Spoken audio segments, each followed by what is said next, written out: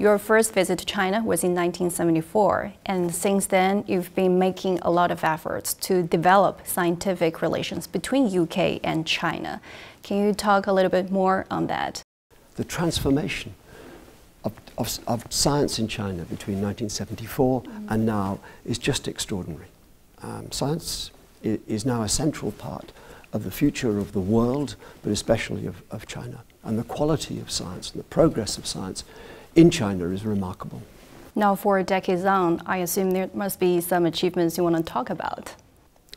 Well, the principal achievements, frankly, of science in China, in my opinion, have been the commitment to openness and engagement and exchange with the rest of the world. China could have retreated, kept its scientific development to itself, but it didn't. And one of the reasons for that is that there were so many people who left China and came back and developed those, those links between science in China and the rest of the world.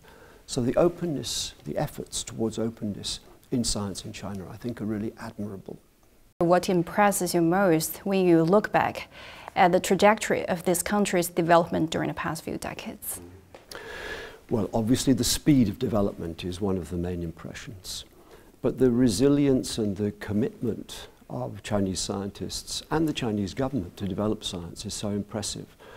China came from such a low base only 50, 50 years ago, and it now competes with the scientific leadership of the rest of the world.